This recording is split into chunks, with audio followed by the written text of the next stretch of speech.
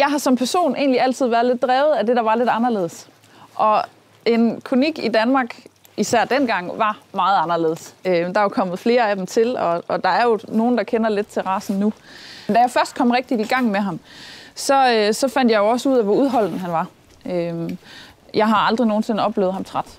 Og det på trods af, at vi har jo udover at have reddet dressur, har vi jo også vi har sprunget en lille smule, men ellers så har vi jo reddet mange lange ture.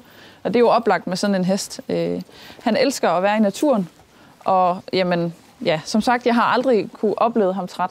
Han, øh, han kører altså bare på.